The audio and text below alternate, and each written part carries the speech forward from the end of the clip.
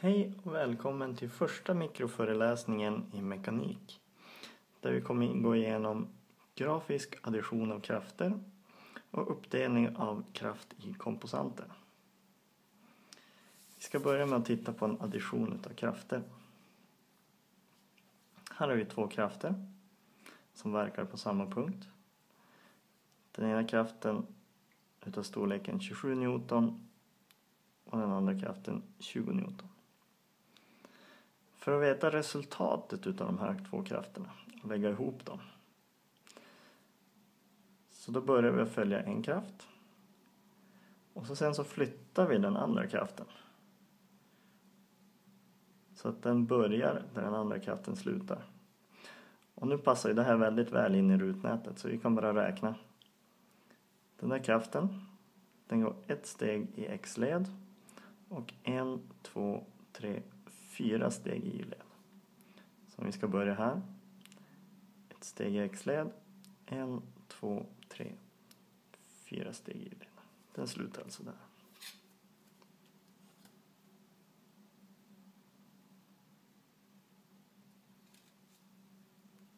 Kan vi sträcka ut den för att förtydliga. Och det blir samma sak om vi skulle börja med den andra. Vi kan räkna den här. En, två, tre, fyra, fem steg i x-led och en, två steg i y-led.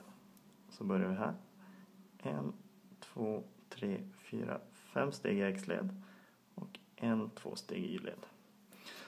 Så att det spelar ingen roll hur många, eh, vilken utav krafterna som man börjar med. Och hade det nu varit ännu fler krafter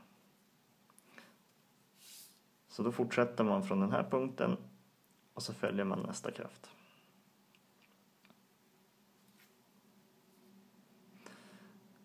Summan som, utav krafter som då kallas resultant den blir alltså från där de börjar till där pilen slutar.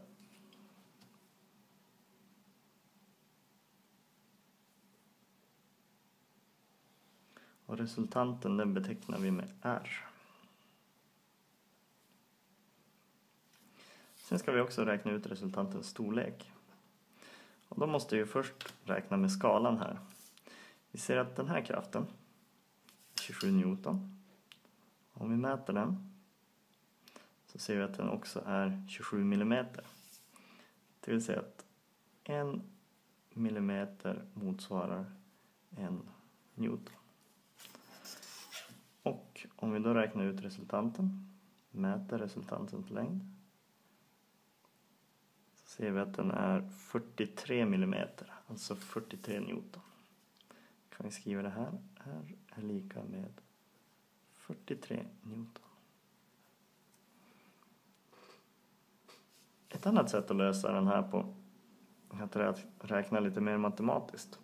Men innan vi går in på det så ska jag visa hur man delar upp en kraft i komposanter. Man kan säga att man delar upp en kraft i i X och Y-komposant brukar man säga. Man delar upp det alltså i X-led och Y-led. Och här har vi ritat F1-kraften som vi har här uppe. Det man gör då det är att man drar ner strecket dit till X-axeln. Det viktiga här är att det är 90 grader. Där.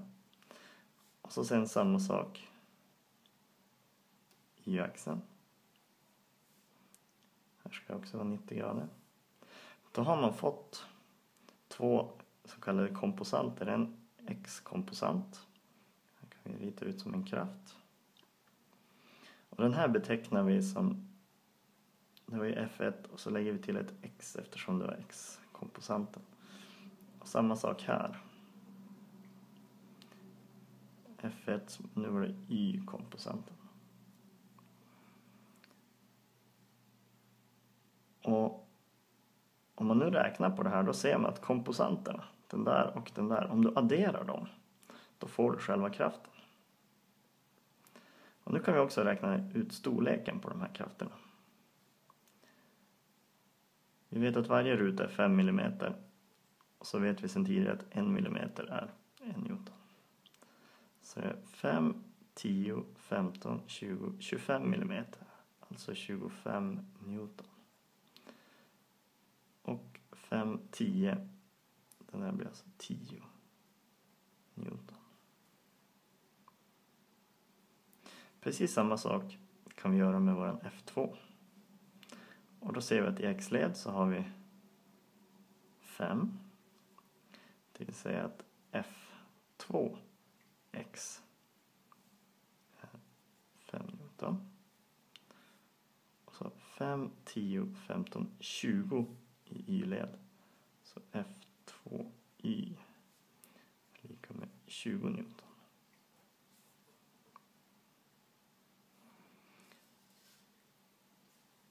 Så ett annat sätt att räkna ut resultanten det är att addera krafternas x-komponenter med varandra och addera krafternas y-komponenter med varandra. Då får man olika komponenter för resultanten. Så man skriver att Rx är lika med F1x plus F2x. Och nu har vi redan räknat ut de här. F1x var 25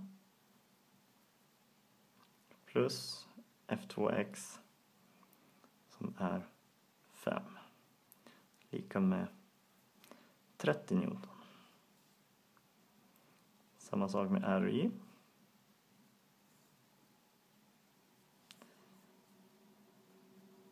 F1Y plus F1, F2Y. Och så sätter vi in där 10 plus och så hade vi räknat ut om det var 20 30 Newton. Om vi jämför det här med resultaten, Rx 5, 10, 15, 20, 25, 30. Då kommer vi dit. Och så RY var också 30. 5, 10, 15, 20, 25, 30. Då ser vi att de här tillsammans, om man lägger ihop dem, så kommer man också till samma punkt. Det man kan se här, om vi skulle sträcka ner en linje här, och så ser vi att det är 90 grader det är att det här bildar ju en triangel. En rätvinklig triangel till och med. Och om vi nu ska räkna ut R i en rätvinklig triangel, då har vi Pythagoras sats. Vi har A upphöjt till 2 plus B upphöjt till 2 är lika med C upphöjt till 2. Det ser hypotenusan. Och i den här så då ser vi att resultanten är hypotenusan och A och B det är komposanten. Så att om vi nu ska räkna ut hypotenusan här så får vi att C är lika med roten ur A i kvadrat plus B i kvadrat. Så om vi nu ska räkna ut resultanten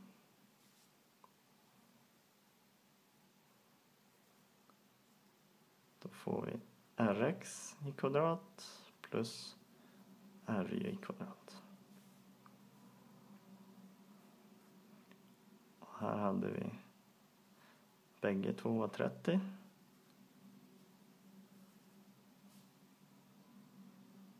Om vi räknar ut det så blir det ungefär 42,4 Newton. Vilket stämmer ganska bra överens med det vi hade mätt upp tidigare.